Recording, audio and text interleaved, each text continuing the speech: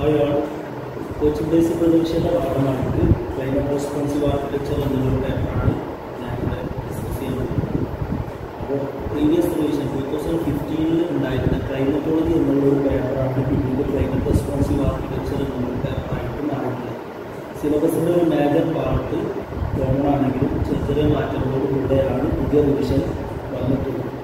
ഈ റിവിഷന്റെ ഭാഗമായിട്ട് ഉള്ള ക്ലൈമറ്റ് റെസ്പോൺസീവ് ആർക്കിടെക്ചറിലെ രണ്ട് ക്വസ്റ്റ്യൻസ് ആണ് ഇന്ന് നമ്മളിവിടെ ഡിസ്കസ് ചെയ്യുന്നത് ഒരു ത്രീ മാർക്ക് ക്വസ്റ്റ്യൻ ആണ് മറ്റൊന്ന് സെവൻ മാർക്ക് ക്വസ്റ്റ്യൻ ആണ്. അപ്പോൾ മൂന്ന് മാർക്കിന്റെ ആദ്യ ക്വസ്റ്റ്യൻ എന്ന് വെച്ചാൽ explain tilt of the earth axis എർത്തിന്റെ ആക്സിസിൽ ഉണ്ടാകുന്ന ഒരു ചെരിവാണ്. ഇത് മൂന്ന് മാർക്ക് വളരെ ഇമ്പോർട്ടന്റ് ആയിട്ടുള്ള ഒരു ക്വസ്റ്റ്യൻ ആണ്. ഇത് ഇതിലെ നമ്മൾ നോട്ട് വളരെ പോയിന്റുകളായിട്ടാണ് ഡിസ്കസ് ചെയ്യുന്നത്. ആദ്യ point the earth rotate around its own axis അത് എർത്ത് അതിന്റേതായ ഒരു അച്ചുതണ്ടിലാണ് കറങ്ങിക്കൊണ്ടിരിക്കുന്നത്. നമുക്കൊക്കെ അറിയാവുന്ന ഒരു പോയിന്റാണ് അല്ലേ? ഇനി അതിൽ നെക്സ്റ്റ് പോയിന്റ് പറഞ്ഞത് each rotation make one twenty four hour day അതായത് ഒരു റൊട്ടേഷൻ കംപ്ലീറ്റ് ചെയ്യുന്നത് ഇരുപത്തിനാല് മണിക്കൂർ അതായത് ഒരു ദിവസമാണ്. അല്ലേ? നമുക്കൊക്കെ അറിയാവുന്ന വളരെ സിമ്പിളായിട്ടുള്ള ഒരു ലോജിക്കായിട്ടുള്ള ഒരു കാര്യമാണ്. ഒരു റൊട്ടേഷൻ കംപ്ലീറ്റ് ചെയ്യാൻ ഇരുപത്തിനാല് മണിക്കൂർ എടുക്കും. ഇനി നെക്സ്റ്റ് പോയിന്റ് പറഞ്ഞത് the axis of this rotation അതായത് ഈ ഒരു റൊട്ടേഷന്റെ axis angle the line join the north and south pole അതായത് നോർത്ത് ടു സൗത്ത് പോളിൽ അത് അറുപത്തിയാറ് പോയിന്റ് അഞ്ച് ഡിഗ്രിയിൽ ചെരിഞ്ഞിട്ടാണ് നിൽക്കുന്നത്. അതായത് അതിന്റെ നോർമലിനോട് ഇരുപത്തിമൂന്ന് പോയിന്റ് അഞ്ച് ഡിഗ്രി ചെരിഞ്ഞിട്ടാണ് എർത്ത് റൊട്ടേറ്റ് ചെയ്യുന്നത്. നിങ്ങൾക്ക് ഈ ഫിഗറിൽ നോക്കിയാൽ കാണാൻ പറ്റും.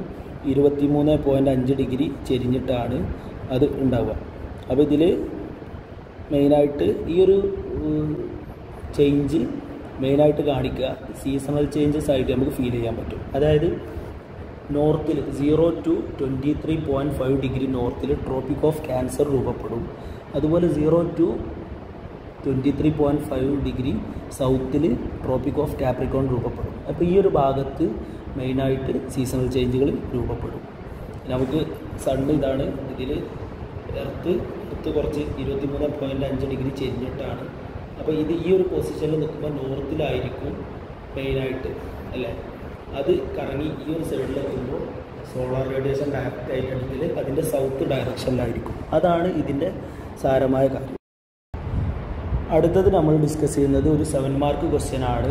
മുമ്പ് ക്ലൈമറ്റോളജി ആയിരുന്ന സമയത്തും സി ആർ എ ആയ ശേഷവും എല്ലാ ക്വസ്റ്റ്യൻ പേപ്പറിലും കണ്ടുവരാറുള്ള ഒരു ക്വസ്റ്റ്യൻ ആണ്.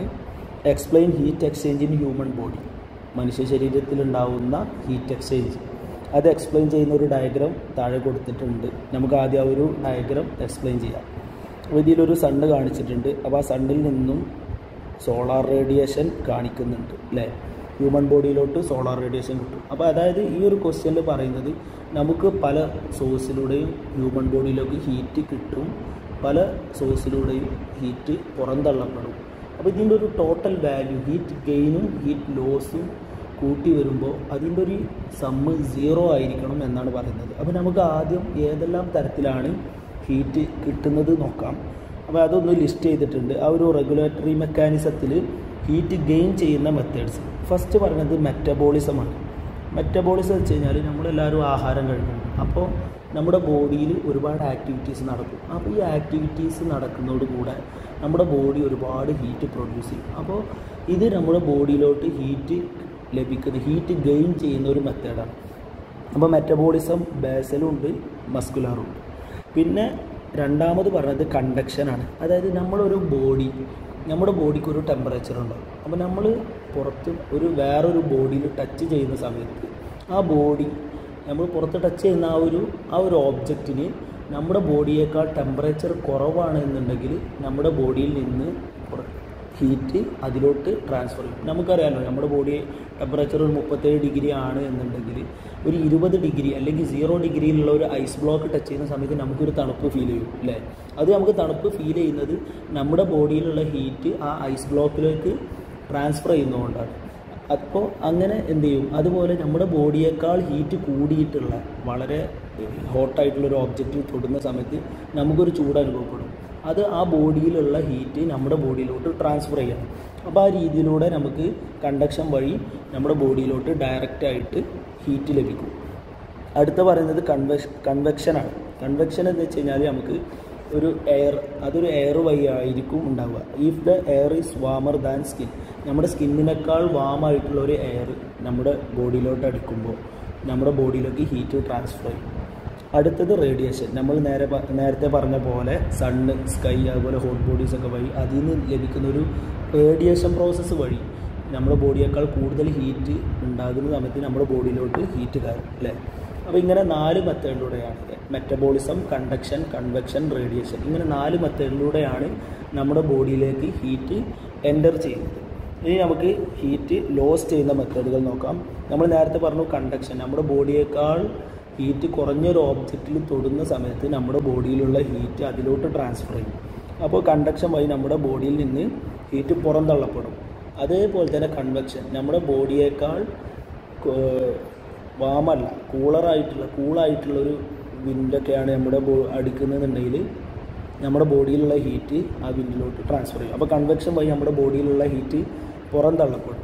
റേഡിയേഷനും അതുപോലെ. അത് നമ്മൾ നൈറ്റിലൊക്കെ നിൽക്കുമ്പോൾ നമ്മൾ അറിയാമല്ലോ നമ്മുടെ ബോഡിയിൽ നിന്ന് ഒരുപാട് ഹീറ്റ് ആ ഒരു അറ്റ്മോസ്ഫിയറിലേക്ക് ട്രാൻസ്ഫർ ചെയ്യപ്പെടും പിന്നെ നമ്മൾ ഇതുവരെ കേൾക്കാത്ത ഒരാളാണ് ഇവാപ്പറേഷൻ ഇവാപ്പറേഷൻ എന്ന് വെച്ച് കഴിഞ്ഞാൽ നമ്മൾ എന്തെങ്കിലും ആക്ടിവിറ്റി ചെയ്യുന്ന സമയത്ത് വിയർപ്പായിട്ടും അതുപോലെ മോയ്സ്ചറായിട്ടൊക്കെ നമ്മുടെ ബോഡിയിൽ നിന്ന് ഹീറ്റ് പുറന്തള്ളപ്പെടുന്ന ഒരു മെത്തേഡ്. അപ്പോൾ ഇതിൽ നാല് മെത്തേഡിലൂടെയാണ് നമ്മുടെ ബോഡിയിൽ നിന്ന് ഹീറ്റ് ലോസ് ചെയ്യുന്നത്.